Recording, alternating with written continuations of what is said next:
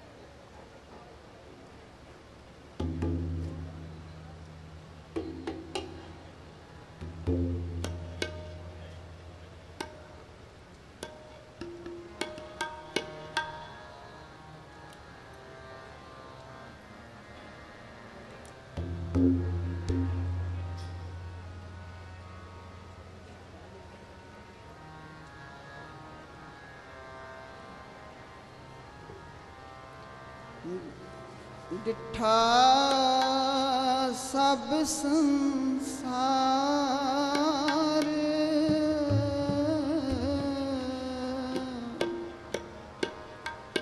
ਡਿਠਾ ਸਭ ਸੰਸਾਰ ਸੁਖ ਨਾ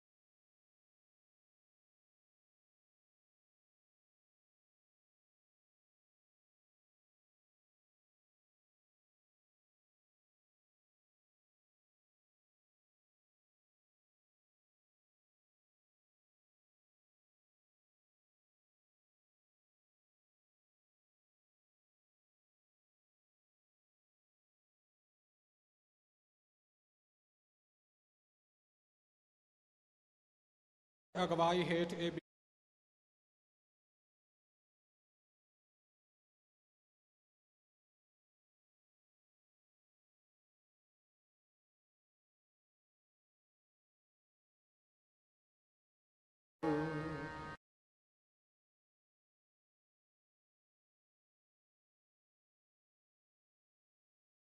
ਖਾਲਸਾ ਵਾਹਿਗੁਰੂ ਜੀ ਕੀ ਫਤਿਹ।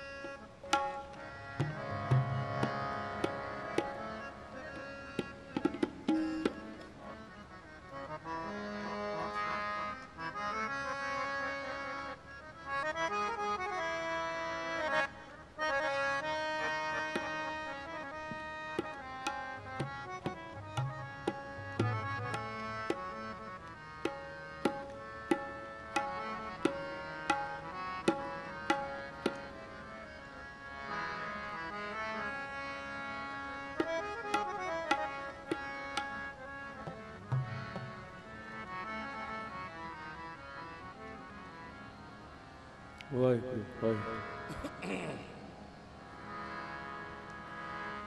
ਵਾਹਿਗੁਰੂ।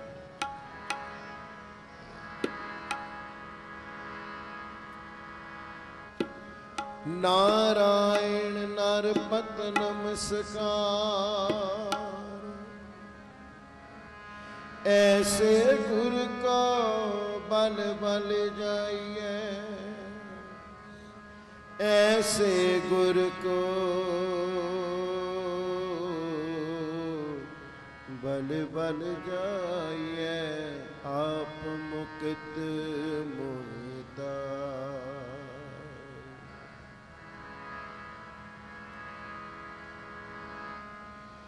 ਐਸੇ ਗੁਰ ਕੋ ਮਨ ਬਲ ਜਾਈਏ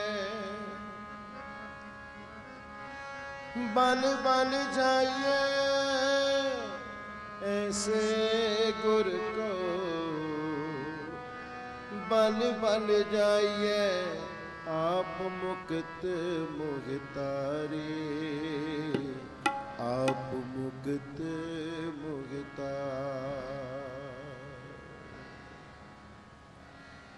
ਗੁਰ ਪਾਰਸ ਹਮ ਲੋਗ ਗੁਰ ਪਾਰਸ ਹਮ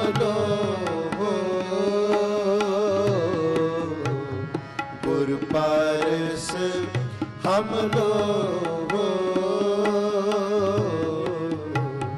गुर परस हम लोग मिल कंचन हो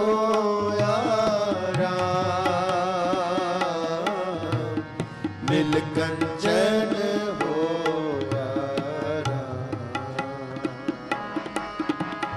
मिल कंचन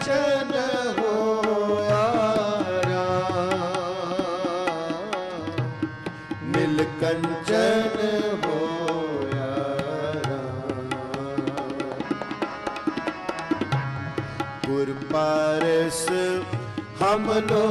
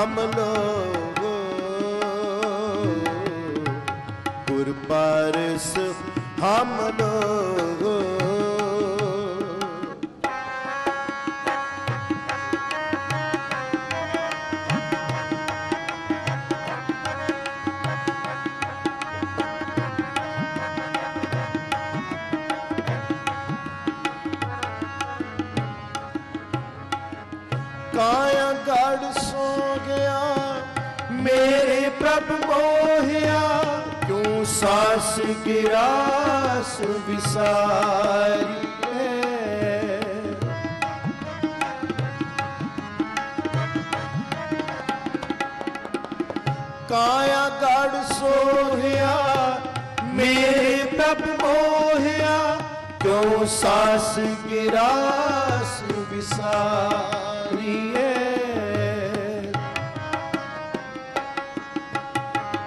ਅਦ੍ਰਿਸ਼ਟ ਅਗੋਚ ਪਕੜਿਆ ਪੁਰ ਸ਼ਬਦੀ, ਹਉ ਸਤਿਗੁਰ ਕੇ ਬਲਿਹਾਰੀਏ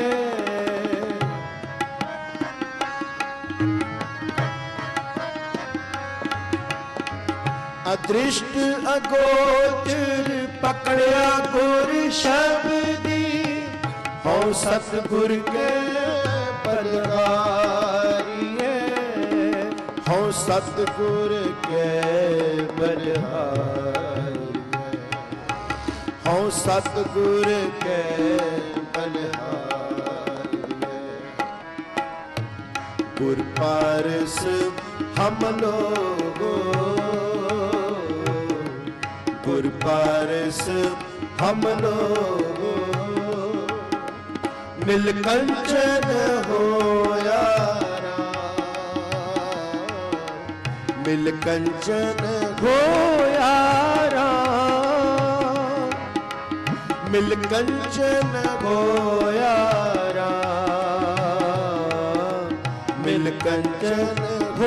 ਰਾਮ। ਗੁਰ ਪਾਰਸ ਹਮ ਲੋਗੋ। ਗੁਰ ਪਾਰਸ ਹਮ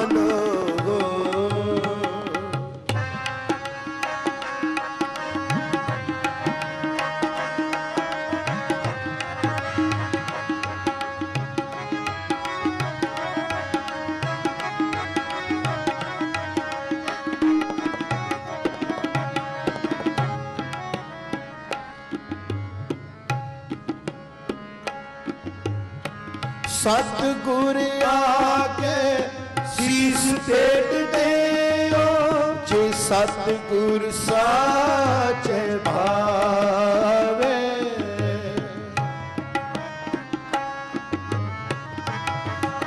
ਸਤਿਗੁਰ ਆਗੇ ਸੀਸ ਪੇਟ ਦੇਓ।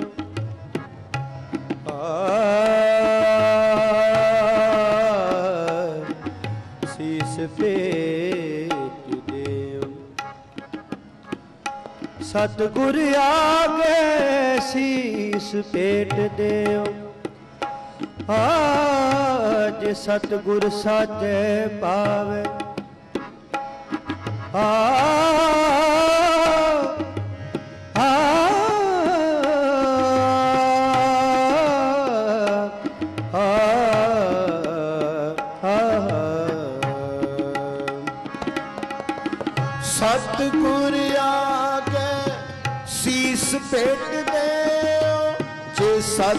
ਸਤਿਗੁਰ ਸਾਚੇ ਭਾਵੇ।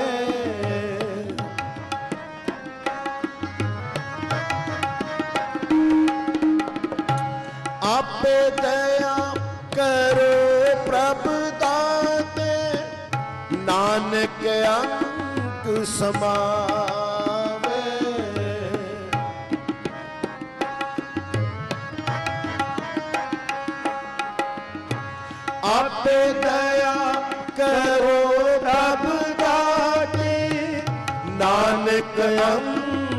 ਅੰਕ ਨਾਨਕ ਅੰਕ ਸਮਾਵੇ ਨਾਨਕ ਅੰਕ ਸਮਾਵੇ ਗੁਰ ਪਾਰਸ ਹਮ ਲੋਗੋ ਗੁਰ ਪਾਰਸ ਹਮ ਲੋਗੋ ਮਿਲ ਕੰਚਨ ਹੋਇਆ। ਕੰਚਨ ਹੋਇਆ ਰਾਮ ਮਿਲ ਕੰਚਨ ਹੋਇਆ ਰਾਮ ਮਿਲ ਕੰਚਨ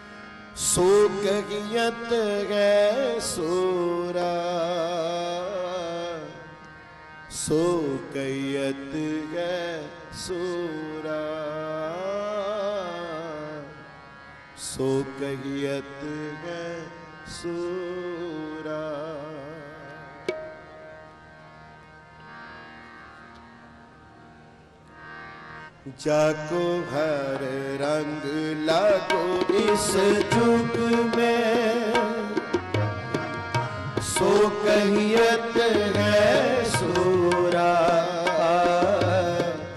सो कहियत है सोरा सो कहियत है सोरा जाको घर रंग लागो इस जुग ਸੋ ਕਹੀਐਤ ਹੈ ਸੋ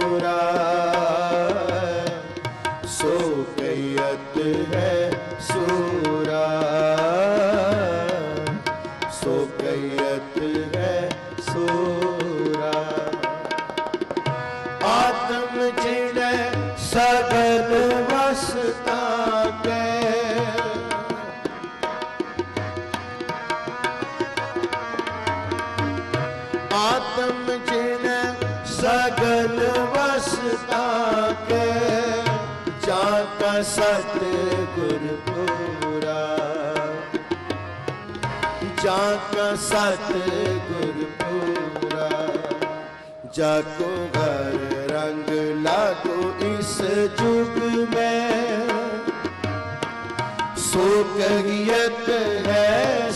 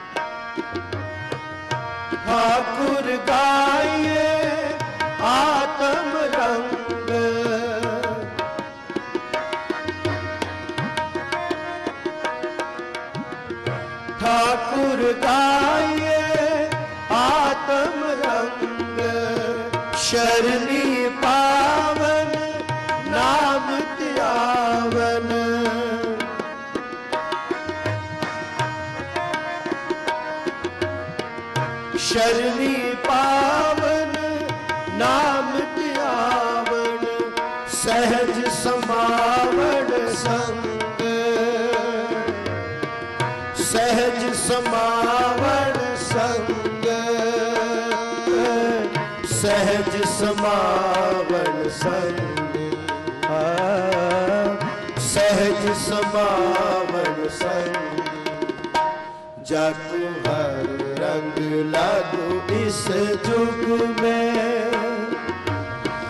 ਸੋ ਕਹੀਅਤ ਹੈ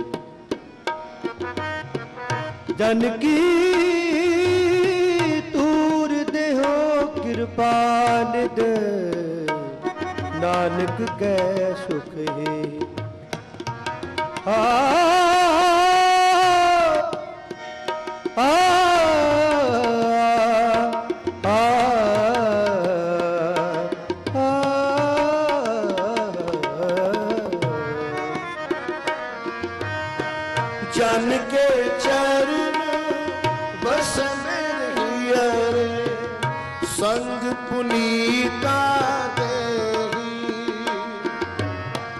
ਸੰਗ ਪੁਨੀਤਾ ਦੇਹੀ। ਜਨ ਕੀ ਤੂਰ ਦੇਹੋ ਕਿਰਪਾ ਨਿਤ।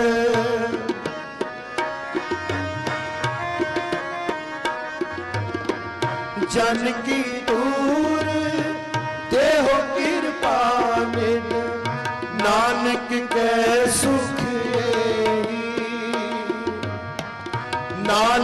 ਕੈ ਸੁਖ ਦੇਹੀ ਨਾਨਕ ਕੈ ਸੁਖ ਦੇਹੀ ਨਾਨਕ ਕੈ ਸੁਖ ਦੇਹੀ ਜਗ ਵਰ ਰੰਗ ਲਾਗੋ ਇਸ ਜੁਗ ਮੈਂ। ਸੋ ਕਹੀਤ ਹੈ ਸੂਰਾ।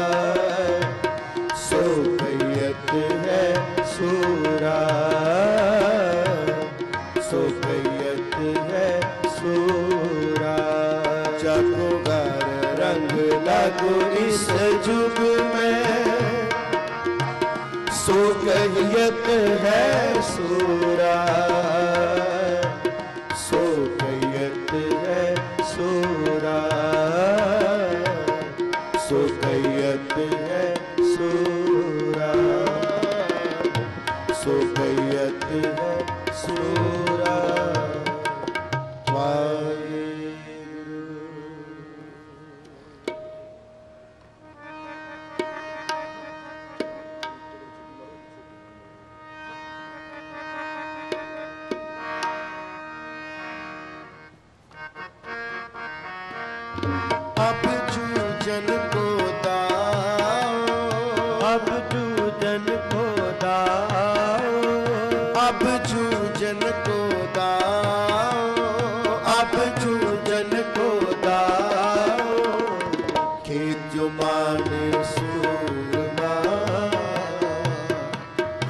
आप जूजन को दाओ, खेत माडे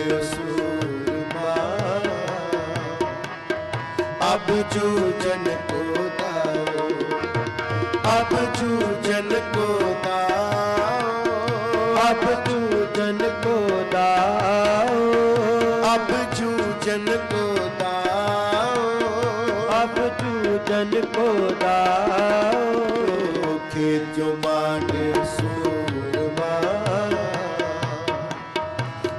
chu chu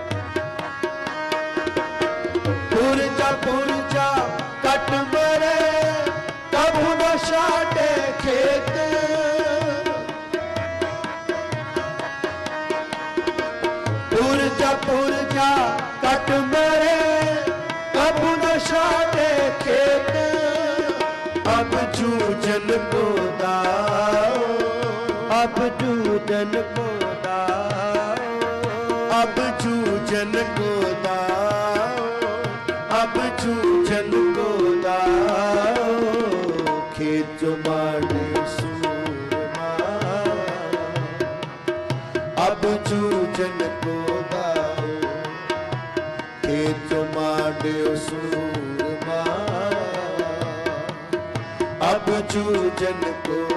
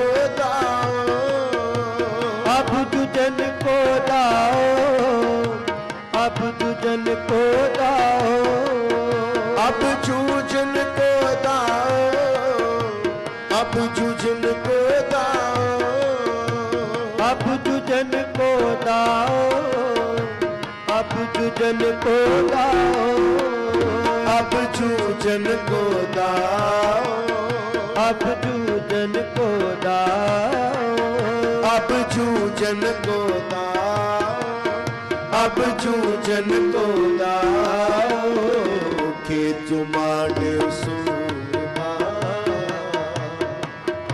अब जू जन को दाओ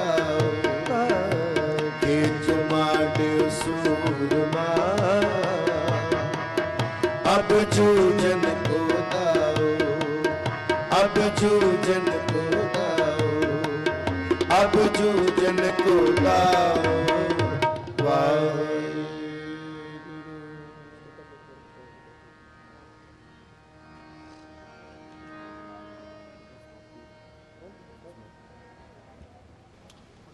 सतगुरु जी बख्शिश कर, कृपा करें। हुक्म मुताबिक नियत समय की समाप्ति है। ਗੁਰਬਾਣੀ ਕੀਰਤਨ ਰਾਹੀਂ ਆਪ ਜੀ ਦੀ ਸੇਵਾ ਕਰਦੇ ਹਾਂ। ਹੋਈਆਂ ਅਨੇਕ ਪ੍ਰਕਾਰ ਦੀਆਂ ਭੁੱਲਾਂ ਦੀ ਸਤਿਗੁਰੂ ਜੀ ਖਿਮਾ ਬਖਸ਼ਿਸ਼ ਕਰਨ ਅੱਗੇ ਲਈ ਸਮਤ ਬਖਸ਼ਣ, ਸ਼ੁੱਧ ਅਤੇ ਸਪਸ਼ਟ ਗੁਰਬਾਣੀ ਪੜ੍ਹਨ ਲਈ, ਆਪ ਸੰਗਤਾਂ ਦੀ ਸੇਵਾ ਕਰਨ ਲਈ ਬਲ ਬੁੱਧ ਬਖਸ਼ਿਸ਼ ਕਰਨ ਜੀ। ਕੋਟਾਨ ਕੋਟ ਧੰਨਵਾਦ ਸਤਿਗੁਰ ਸੱਚੇ ਪਿਤਾ ਦਾ। ਆਪ ਸਾਰੀਆਂ ਸੰਗਤਾਂ ਦੇ ਪਿਆਰ ਸਤਿਕਾਰ ਦਾ ਬਹੁਤ ਬਹੁਤ ਧੰਨਵਾਦ। ਅਤੀ ਸਤਿਕਾਰਯੋਗ ਸੰਤ ਬਾਬਾ ਹਰਨਾਮ ਸਿੰਘ ਜੀ, ਮੁਖੀ ਦਮਦਮੀ ਸਾਲ ਅਤੇ ਇਸ ਮਹਾਨ ਅਸਥਾਨ ਦੇ ਸਮੂਹ ਸੇਵਾਦਾਰ ਵੀਰ ਸਾਰਿਆਂ ਦੇ ਪਿਆਰ, ਸਤਿਕਾਰ ਦਾ ਬਹੁਤ ਬਹੁਤ ਧੰਨਵਾਦ। ਹੋਈਆਂ ਭੁੱਲਾਂ ਦੀ ਖਿਮਾ ਬਖਸ਼ਿਸ਼ ਕਰਨੀ, ਅਸੀਸ ਦੇ ਗੁਰੂ ਦੀ ਬਖਸ਼ਿਸ਼ ਗੁਰਫਤਿਹ ਪ੍ਰਵਾਨ ਕਰਨੀ ਜੀ। ਵਾਹਿਗੁਰੂ ਜੀ ਕਾ ਖਾਲਸਾ, ਵਾਹਿਗੁਰੂ ਜੀ ਕੀ ਫਤਿਹ। ਵਾਹਿਗੁਰੂ ਜੀ ਕਾ ਖਾਲਸਾ, ਵਾਹਿਗੁਰੂ ਜੀ ਕੀ ਫਤਿਹ। ਸਟੇਜ ਤੇ ਸਭਾਏਮਾਨ ਹਨ ਸ੍ਰੀ ਅਕਾਲ ਤਖਤ ਸਾਹਿਬ ਜੀ ਦੇ ਸਾਬਕਾ ਜਥੇਦਾਰ ਸਿੰਘ ਸਿੰਘ ਸਾਹਿਬ, ਗਿਆਨੀ ਜਸਵੀਰ ਸਿੰਘ ਜੀ ਖਾਲਸਾ, ਭਤੀਜੇ ਸੰਤ ਗਿਆਨੀ ਜਰਨੈਲ ਸਿੰਘ ਖਾਲਸਾ ਜੀ ਦੇ। ਮਹਾਪੁਰਖ ਸੰਤ ਬਾਬਾ ਸੁਖਸੈਨ ਸਿੰਘ ਜੀ ਧਰਮਪੁਰੇ ਵਾਲੇ, ਗੁਰਮਤਿ ਸਿਧਾਂਤ ਪ੍ਰਚਾਰਕ ਸੰਤ ਸਮਾਜ ਦੇ ਸਕੱਤਰ ਤੇ ਹੋਰ ਮਹਾਨ ਸ਼ਖਸੀਅਤਾਂ। ਮੈਂ ਜ਼ਿਆਦਾ ਸਮਾਂ ਨਾ ਲਵਾਂ।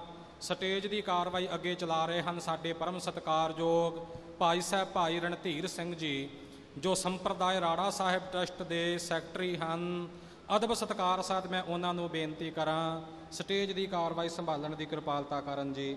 ਵਾਹਿਗੁਰੂ ਜੀ ਕਾ ਖਾਲਸਾ, ਵਾਹਿਗੁਰੂ ਜੀ ਕੀ ਫਤਿਹ।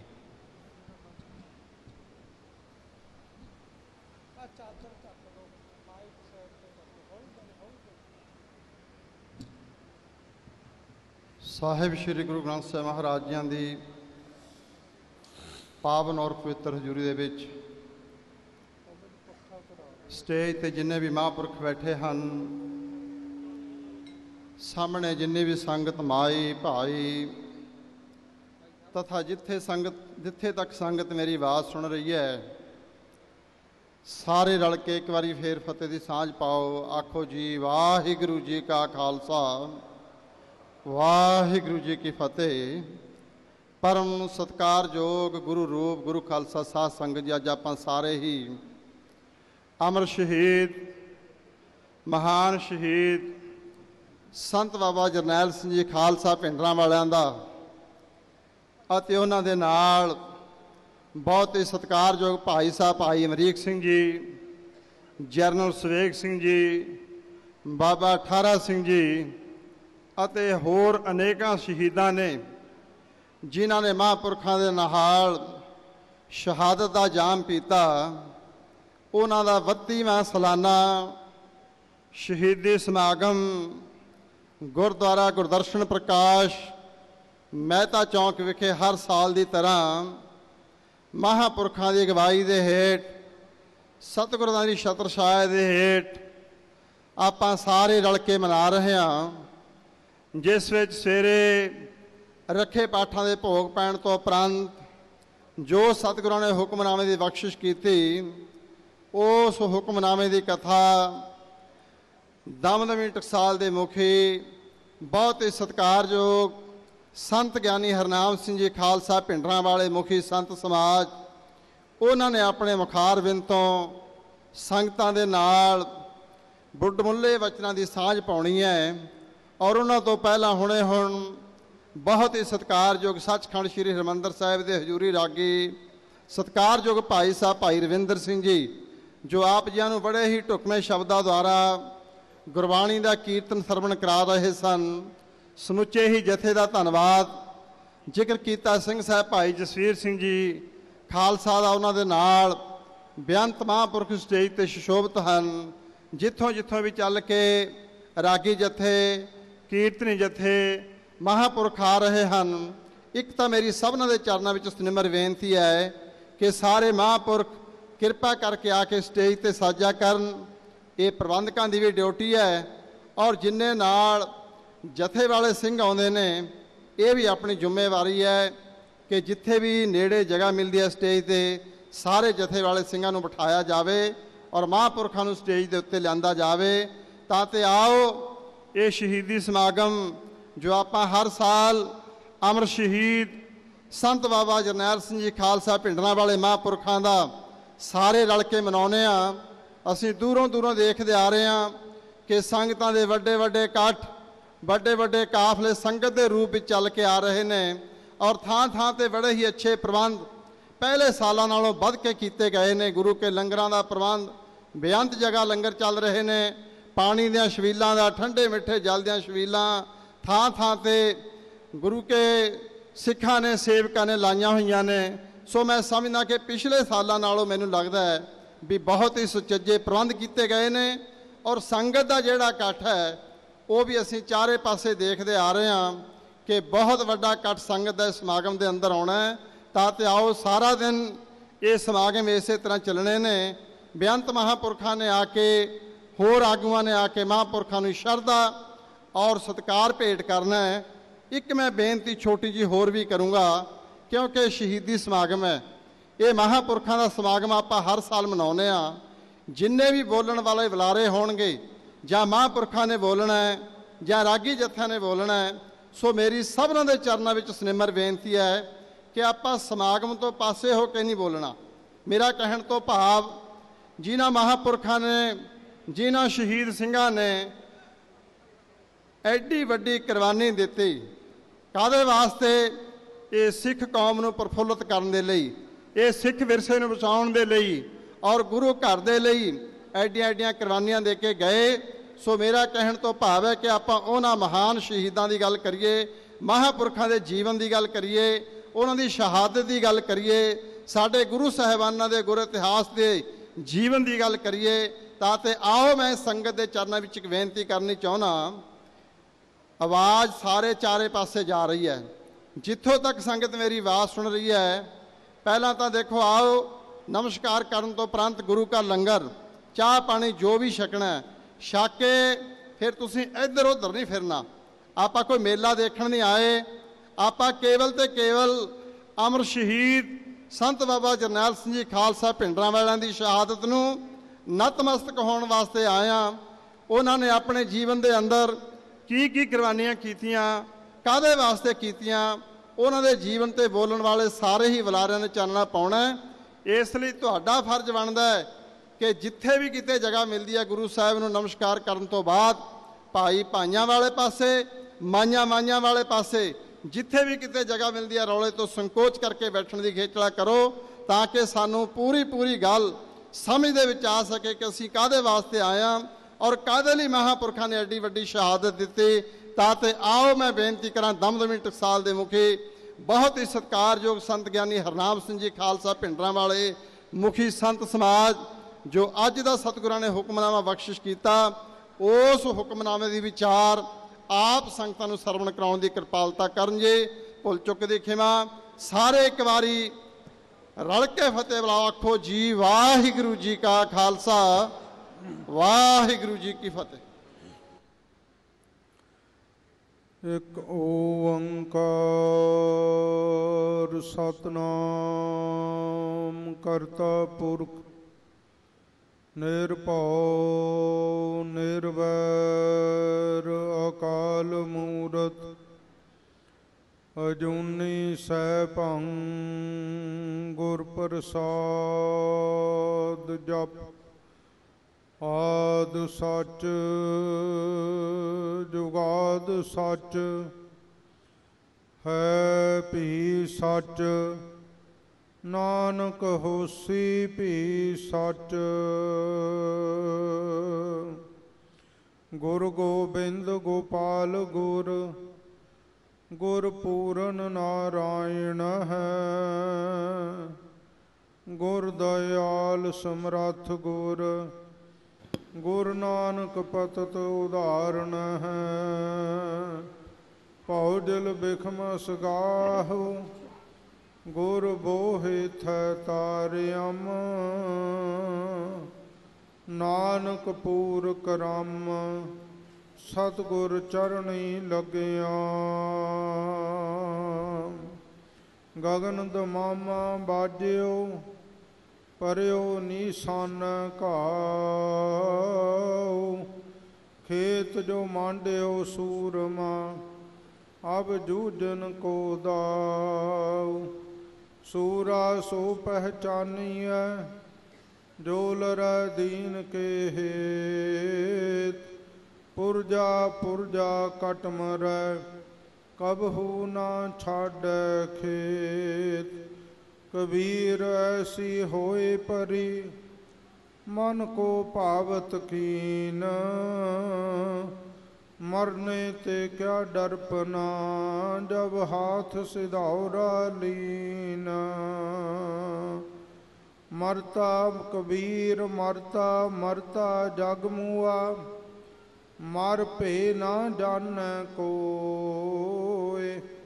ਐਸੀ ਮਰਨੀ ਜੋ ਮਰ, ਬਹੁਰ ਨਾ ਮਰਨਾ ਹੋਏ।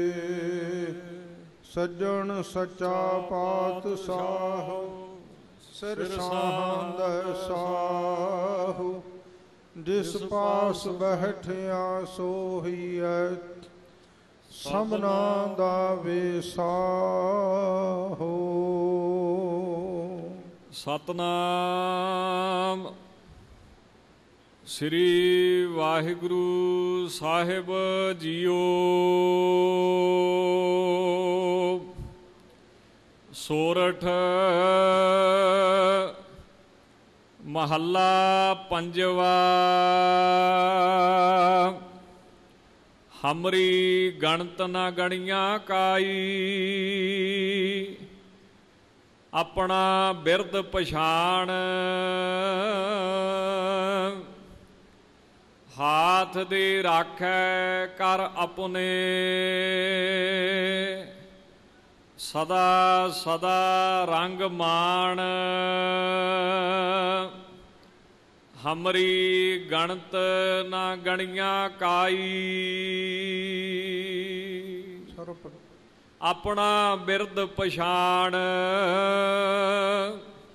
ਹਾਥ ਦੇ ਰਾਖੇ ਕਰ ਆਪਣੇ, ਸਦਾ ਸਦਾ ਰੰਗ ਮਾਣ।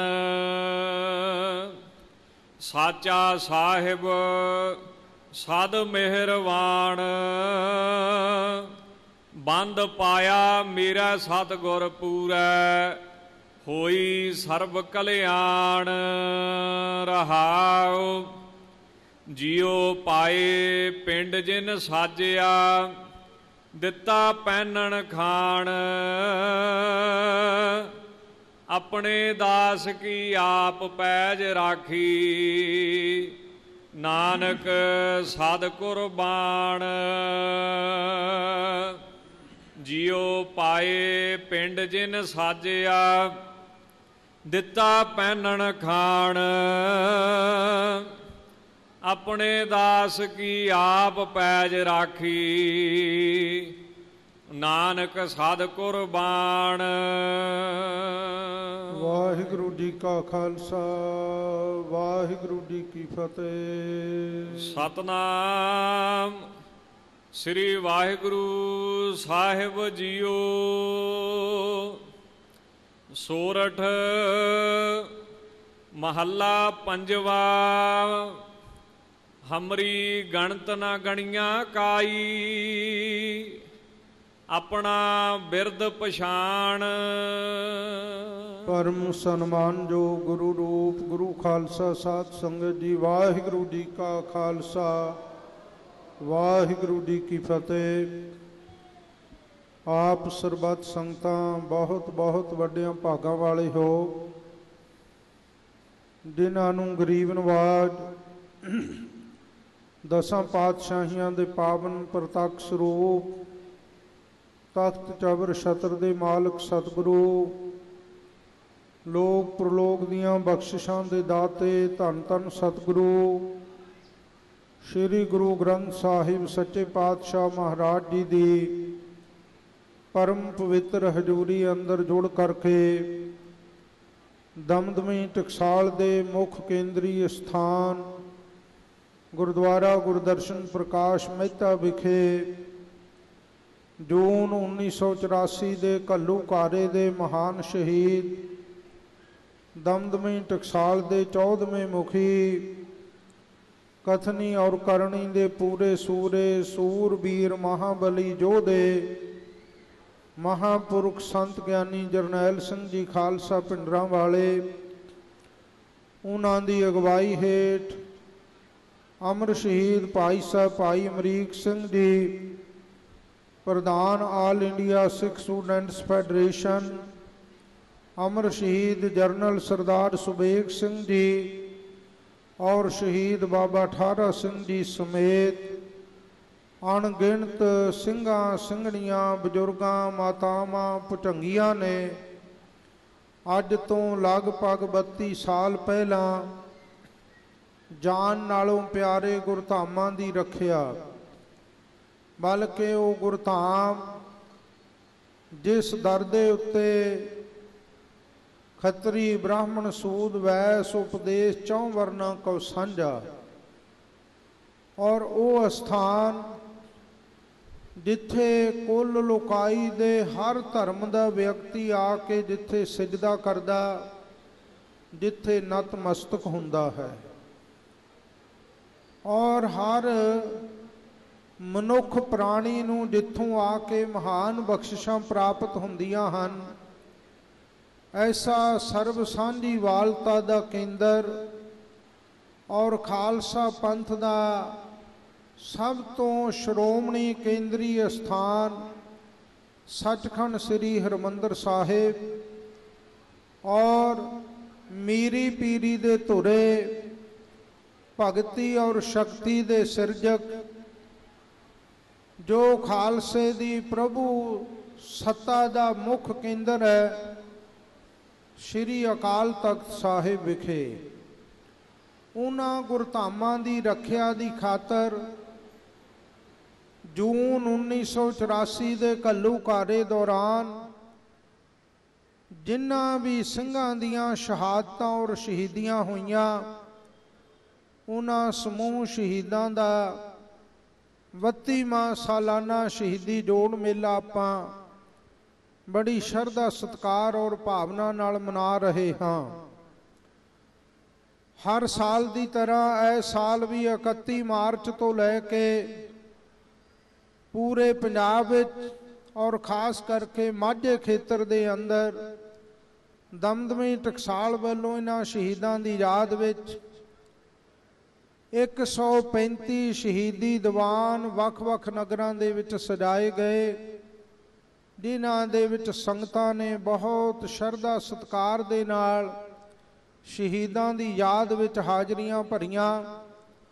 ਔਰ 1 ਜੂਨ ਤੋਂ ਲੈ ਕੇ ਅੱਜ ਜੂਨ ਅੱਜ 6 ਜੂਨ ਤੱਕ ਪੂਰਾ ਸ਼ਹੀਦੀ ਘੱਲੂ ਘਾਰੇ ਦਾ ਹਫਤਾ ਦਮਦਮੀ ਟਕਸਾਲ ਦੇ ਇਸ ਹੈੱਡਕੁਆਟਰ ਗੁਰਦੁਆਰਾ ਗੁਰਦਰਸ਼ਨ ਪ੍ਰਕਾਸ਼ ਮਹਿਤਾ ਵਿਖੇ ਬੜੀ ਸ਼ਰਧਾ ਔਰ ਭਾਵਨਾ ਤੇ ਸਤਕਾਰ ਦੇ ਨਾਲ ਮਨਾਇਆ ਗਿਆ, ਜਿਸ ਵਿੱਚ ਜੋ 31 ਮਾਰਚ ਤੋਂ ਲੈ ਕੇ ਸ਼ਹੀਦਾਂ ਦੀ ਯਾਦ ਵਿੱਚ ਸ੍ਰੀ ਅਖੰਡ ਪਾਠ ਸਾਹਿਬਾਂ ਦੀ ਲੜੀ ਪ੍ਰਾਰੰਭ ਹੋਈ, ਉਸ ਦੇ ਨਾਲ ਨਾਲ ਪ੍ਰਵਾਹ ਚੱਲਦੇ ਰਹੇ, ਅੱਜ ਉਹਨਾਂ ਦੇ ਭੋਗ ਪਾਏ ਗਏ ਹਨ।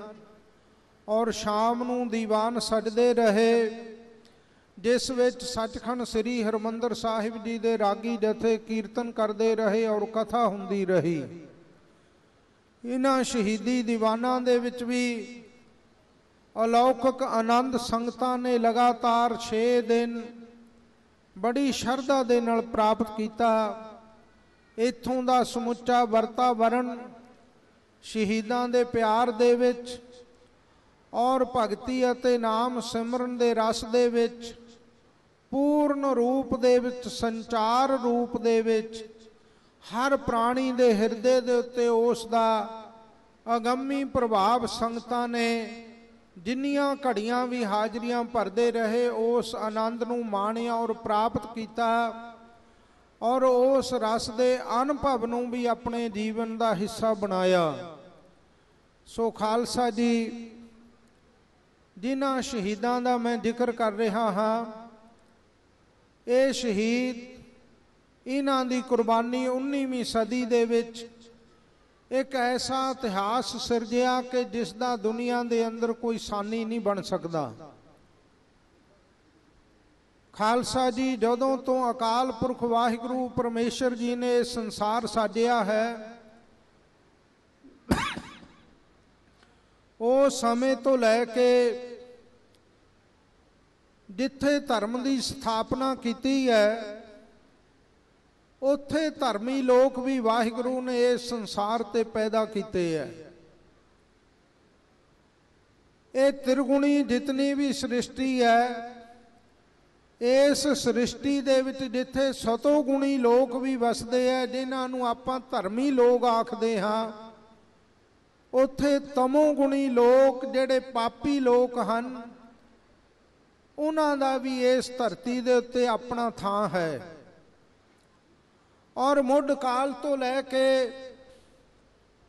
ਪੁੰਨ ਔਰ ਪਾਪ, ਇਹ ਦੋਨਾਂ ਦਾ ਆਪਸ ਦੇ ਵਿੱਚ ਸੰਗਰਾਮ ਹੁੰਦਾ ਚਲਿਆ ਆਇਆ। ਕਈ ਵਾਰੀ ਪਾਪ ਬਹੁਤ ਵੱਧ ਜਾਂਦੇ ਰਹੇ ਤੇ ਅਕਾਲ ਪੁਰਖ ਵਾਹਿਗੁਰੂ ਪਰਮੇਸ਼ਰ ਜੀ ਨੇ ਫਿਰ ਇਹ ਸ੍ਰਿਸ਼ਟੀ ਦੇ ਉੱਤੇ ਧਰਮੀਆਂ ਨੂੰ ਪੈਦਾ ਕਰਕੇ ਪਾਪ ਦਾ ਅੰਤ ਕਰਨ ਵਾਸਤੇ ਆਪਣੇ ਧਰਮੀਆਂ ਤੋਂ ਇਸ ਧਰਤੀ ਦੇ ਉੱਤੇ ਜ਼ੁਲਮ ਮਟਾਉਣ ਵਾਸਤੇ ਵੀ ਮਹਾਨ ਬਖਸ਼ਿਸ਼ਾਂ ਕਰਕੇ ਸੇਵਾਵਾਂ ਲਈਆਂ। ਔਰ ਕਈ ਵੇਰੀ ਐਸਾ ਸਮਾਂ ਵੀ ਆਇਆ ਕਿ ਧਰਮੀ ਨਾਮ ਮਾਤਰ ਰਹਿ ਗਏ, ਪਾਪੀ ਲੋਕਾਂ ਦੀ ਗਿਣਤੀ ਬਹੁਤ ਵੱਧ ਗਈ। ਉਸ ਸਮੇਂ ਵੀ ਪਰਮੇਸ਼ਰ ਨੇ ਧਰਮ ਦੀ ਰੱਖਿਆ ਵਾਸਤੇ, ਧਰਮੀਆਂ ਦੀ ਸਹਾਇਤਾ ਵਾਸਤੇ ਆਪ ਉਹਨਾਂ ਵਿੱਚ ਵਰਤ ਕੇ ਆਪਣੀ ਸ਼ਕਤੀ ਦੇ ਕੇ ਉਹਨਾਂ ਨੂੰ ਬਲਵਾਨ ਬਣਾਇਆ ਔਰ ਧਰਮ ਨੂੰ ਜੁਗੋ ਜੁਗ ਸੰਸਾਰ ਦੇ ਵਿੱਚ ਅਚਲ ਔਰ ਅਟਲ ਰੱਖਿਆ।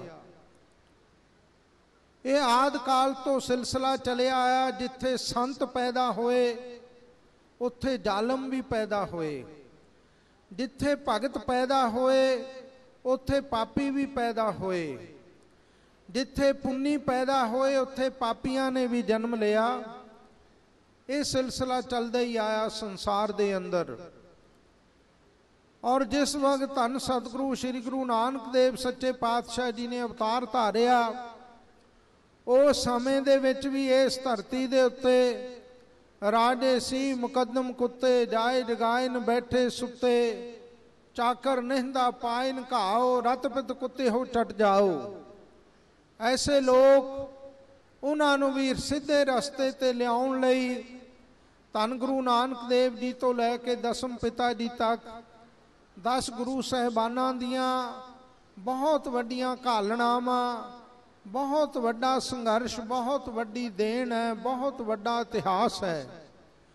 ਦੋ ਗੁਰੂ ਸਹਿਬਾਨਾਂ ਦੀਆਂ ਸ਼ਹਾਦਤਾਂ ਔਰ ਅਣਗਿਣਤ ਸਤਿਗੁਰਾਂ ਦੇ ਜਾਣ ਨਾਲੋਂ ਪਿਆਰੇ ਗੁਰਸਿੱਖਾਂ ਦੀਆਂ ਸ਼ਹੀਦੀਆਂ ਦਾ ਇਤਿਹਾਸ ਹੈ।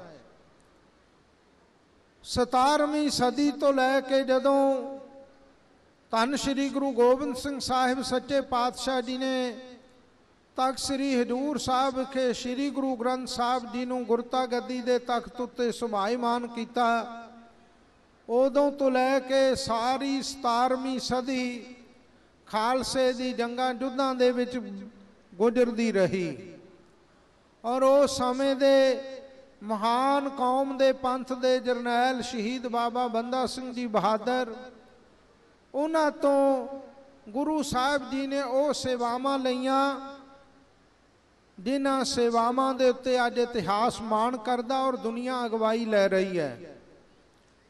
ਔਰ ਬਾਬਾ ਬੰਦਾ ਸਿੰਘ ਜੀ ਦਾ ਔਰ ਉਹਨਾਂ ਦੇ ਨਾਲ ਦੇ ਸਾਥੀ ਸਿੰਘਾਂ ਦੀਆਂ ਸ਼ਹੀਦੀ ਸ਼ਹੀਦੀ ਸ਼ਤਾਬਦੀ ਜੋ ਹੈ, ਉਹ 24 ਜੂਨ ਨੂੰ ਇਸੇ ਇਸੇ ਜੂਨ ਇਸੇ ਜੂਨ ਦੇ ਮਹੀਨੇ ਵਿੱਚ 300 ਸਾਲਾ ਸ਼ਹੀਦੀ ਯਾਦ ਮਨਾਈ ਜਾ ਰਹੀ ਹੈ।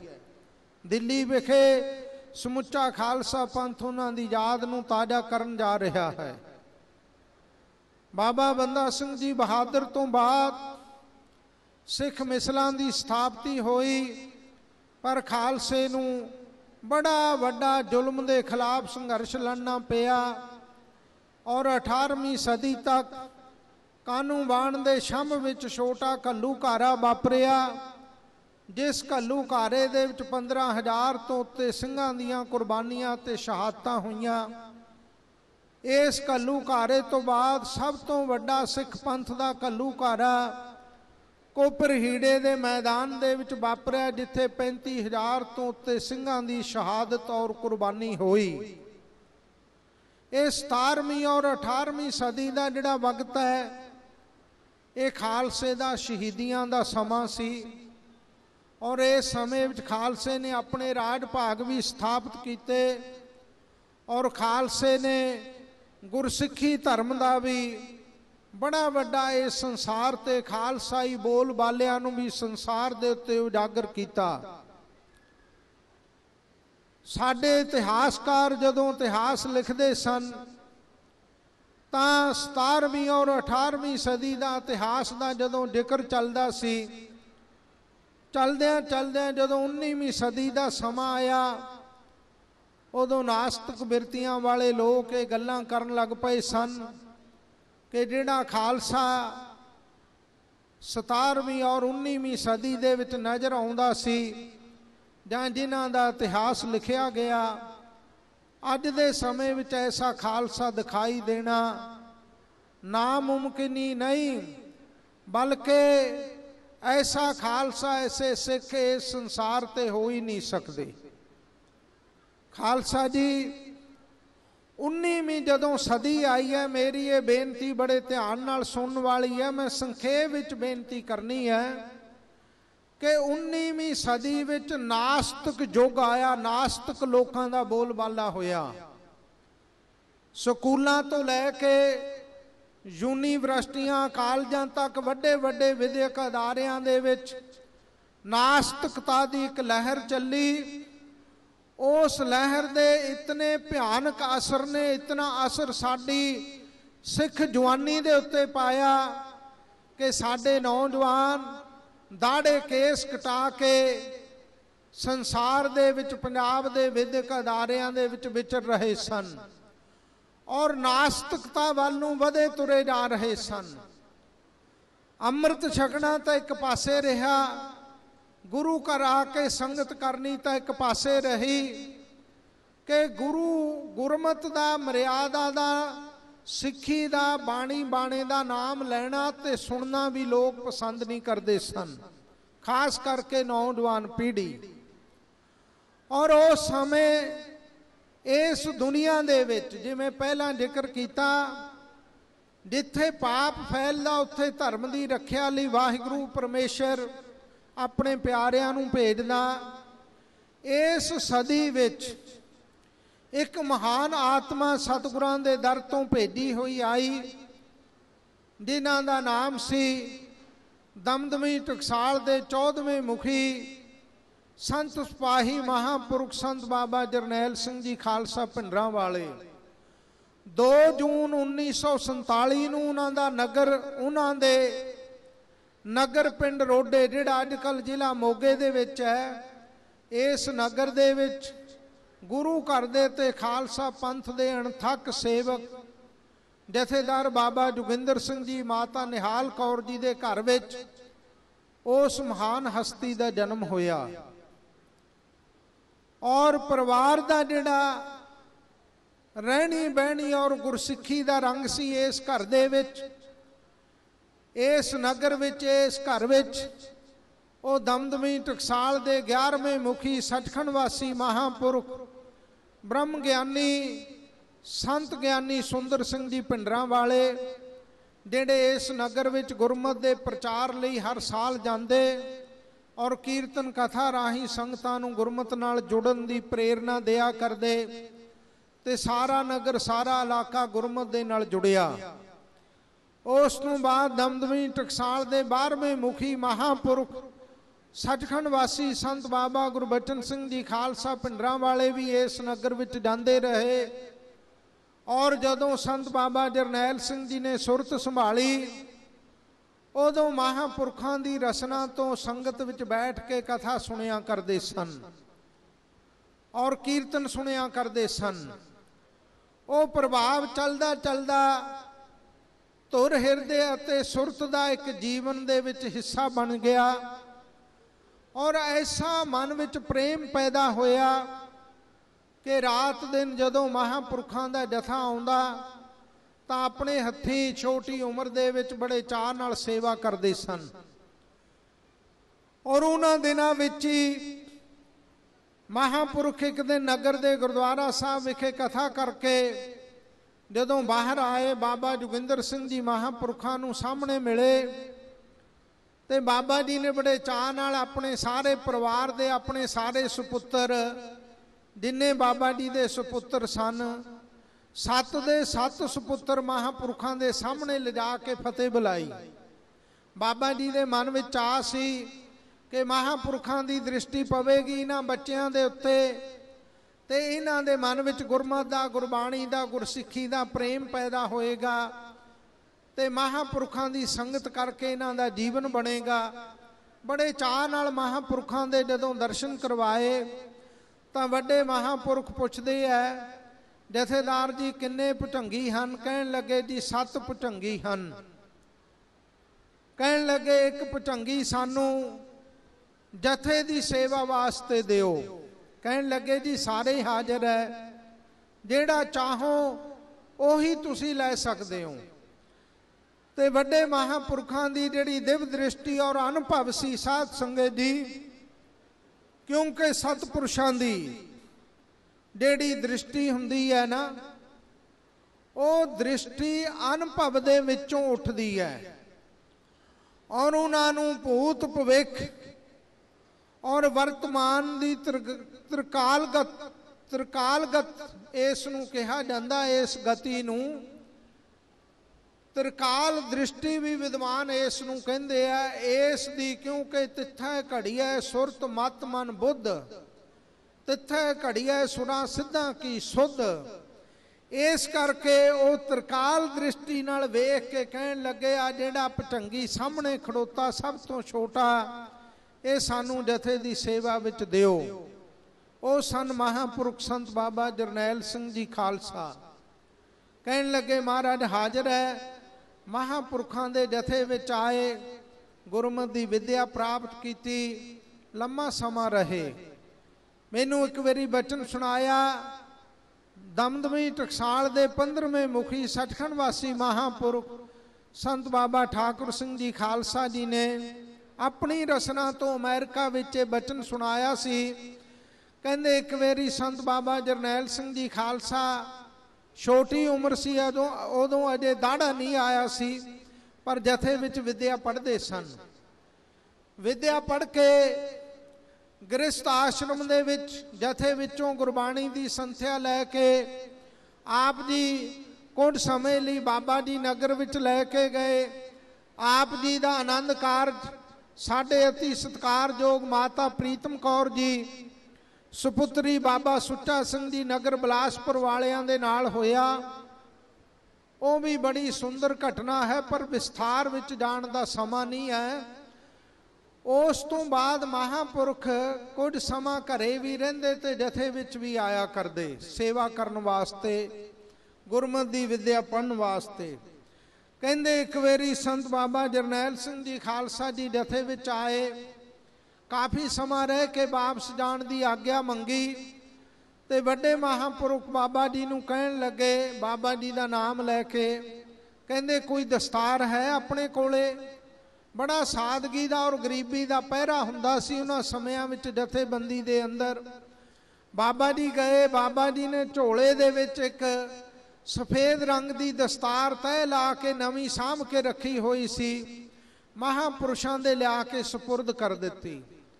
ਮਹਾਪੁਰਖਾਂ ਨੇ ਸੰਤ ਬਾਬਾ ਜਰਨੈਲ ਸਿੰਘ ਜੀ ਨੂੰ ਪਚੰਗੀ ਸ਼ਬਦ ਕਹਿ ਕੇ ਬੁਲਾਇਆ ਔਰ ਉਹ ਦਸਤਾਰ ਸਿਰ ਤੇ ਰੱਖ ਕੇ ਕਹਿਣ ਲੱਗੇ ਕਹਿੰਦੇ ਭਾਈ ਠੀਕ ਹੈ, ਜਦੋਂ ਵਕਤ ਲੱਗੇ ਫੇਰ ਸੇਵਾ ਵਿੱਚ ਆ ਜਾਣਾ। ਬਾਬਾ ਜੀ ਕਹਿੰਦੇ ਉਹ ਮੈਨੂੰ ਬਚਨ ਚੇਤੇ ਹੈ, ਪਰ ਕਹਿੰਦੇ ਜਦੋਂ ਵੱਡੇ ਮਹਾਪੁਰਖ ਦਮਦਮੀ ਟਕਸਾਲ ਦੇ 13ਵੇਂ ਮੁਖੀ ਸਚਖੰਡ ਵਾਸੀ ਸੰਤ ਗਿਆਨੀ ਕਰਤਾਰ ਸਿੰਘ ਜੀ ਖਾਲਸਾ ਜੀ ਸਚਖੰਡ ਪਿਆਨਾ ਕਰ ਗਏ ਤੇ ਸਾਰੇ ਜਥੇ ਨੇ ਮਿਲ ਕੇ ਵਿਚਾਰ ਕਰਕੇ ਇੱਥੇ ਦਮਦਮੀ ਟਕਸਾਲ ਦੇ 14ਵੇਂ ਮੁਖੀ ਦਾ ਸਿਰੋਂ ਪਾਉ ਬਾਬਾ ਜੀ ਕਹਿੰਦੇ, ਸੰਤ ਬਾਬਾ ਜਰਨੈਲ ਸਿੰਘ ਜੀ ਨੂੰ ਦਿੱਤਾ, ਤਾਂ ਮੈਨੂੰ ਉਹ ਘਟਨਾ ਕਹਿੰਦੇ, ਇਨ ਬਿਨ ਉਦੋਂ ਯਾਦ ਆ ਗਈ ਕਿ ਮਹਾਪੁਰਖ ਤਾਂ ਪਹਿਲਾਂ ਹੀ ਬਖਸ਼ਿਸ਼ ਕਰਕੇ ਗਏ ਐ। ਪਹਿਲਾਂ ਹੀ ਸੇਵਾ ਸੌਂਪ ਗਏ ਐ, ਅੱਜ ਤਾਂ ਅਸੀਂ ਇੱਕ ਰਸਮ ਕਰ ਰਹੇ ਹਾਂ। ਸੋ ਸਾਧ ਸੰਗਤ ਜੀ ਸਤਪੁਰਸ਼ਾਂ ਦੀ ਦ੍ਰਿਸ਼ਟੀ ਇਤਨੀ ਦੀਰਘ ਦ੍ਰਿਸ਼ਟੀ ਹੁੰਦੀ ਹੈ ਭੂਤ ਭਵਿੱਖ ਵਰਤਮਾਨ ਦੀ ਗਿਆਤਾ ਗੇ ਦ੍ਰਿਸ਼ਟੀ ਦੇ ਮਾਲਕ ਸਨ। ਸੋ ਮੈਂ ਵਿਚਾਰ ਕਰ ਰਿਹਾ ਸੀ ਕਿ ਮਹਾਪੁਰਖ ਸੰਤ ਬਾਬਾ ਜਰਨੈਲ ਸਿੰਘ ਜੀ ਖਾਲਸਾ ਜੀ, ਜਿੱਥੇ ਵਿੱਚ ਆਏ ਗੁਰਮਤਿ ਦੀ ਵਿਦਿਆ ਪੜ੍ਹੀ ਔਰ ਵੱਡੇ ਸੰਤਾਂ ਨੂੰ ਬੇਨਤੀ ਕੀਤੀ ਕਿ ਮਹਾਰਾਜ, ਇੱਕ ਦਿਨ ਇੱਕ ਦਿਨ ਦਾ ਜ਼ਿਕਰ ਹੈ ਕਿ ਕਲਗੀਧਰ ਪਾਤਸ਼ਾਹ ਜੀ ਦੇ ਪ੍ਰਤੱਖ ਦਰਸ਼ਨ ਕਰਨ ਦਾ ਸੰਕਲਪ ਹੈ। ਕੋਈ ਜੁਗਤੀ, ਕੋਈ ਢੰਗ, ਕੋਈ ਤਰੀਕਾ ਦੱਸੋ ਕਿਹੜਾ ਸਾਧਨ ਕਰੀਏ। ਮਹਾਂਪੁਰਖ ਕਹਿਣ ਲੱਗੇ, ਪੰਜ ਬਾਣੀਆਂ, ਪੰਜ ਗ੍ਰੰਥੀ ਦਾ ਨਿਤਨੇਮ ਕਰਦੇ ਹੋ। ਕਹਿਣ ਲੱਗੇ ਜੀ ਗੁਰੂ ਸਾਹਿਬ ਕਿਰਪਾ ਕਰਕੇ ਕਰਵਾਉਂਦੇ ਆ, ਇੰਨੀ ਨਿਮਰਤਾ ਸੀ ਉਹਨਾਂ ਦੇ ਹਿਰਦੇ ਵਿੱਚ। ਇਹ ਨਹੀਂ ਕਿਹਾ ਕਿ ਮੈਂ ਕਰਦਾ, ਕਹਿੰਦੇ ਗੁਰੂ ਸਾਹਿਬ ਕਿਰਪਾ ਕਰਕੇ ਕਰਵਾ ਲੈਂਦੇ ਆ। ਕਹਿੰਦੇ ਜੇ ਸਤਿਗੁਰਾਂ ਦੇ ਪ੍ਰਤੱਖ ਦਰਸ਼ਨ ਕਰਨ ਦੀ ਇੱਛਾ, ਫਿਰ ਹੋਰ ਕਮਾਈ ਕਰਨੀ ਪਵੇਗੀ।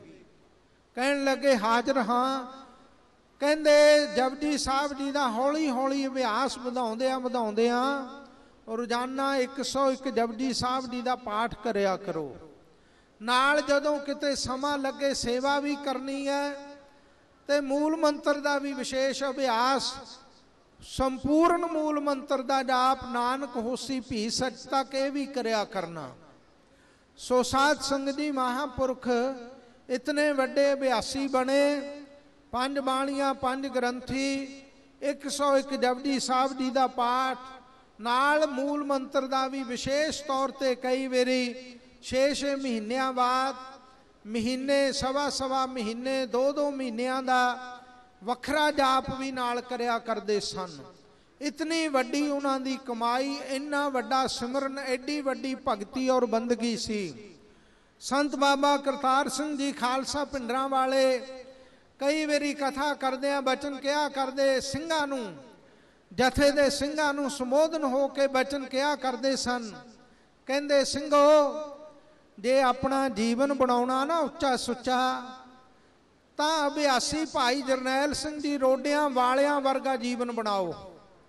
ਇਹ ਬਚਨ ਸੰਤ ਬਾਬਾ ਕਰਤਾਰ ਸਿੰਘ ਜੀ ਆਪਣੀ ਰਸਨਾ ਤੋਂ ਕਰਿਆ ਕਰਦੇ। ਕਥਾ ਵਿੱਚ ਕਰਿਆ ਕਥਾ ਦੇ ਵਿੱਚ ਵੀ ਕਹਿ ਦਿਆ ਕਰਦੇ ਸਨ, ਕਥਾ ਕਰਦਿਆਂ ਕਰਦਿਆਂ।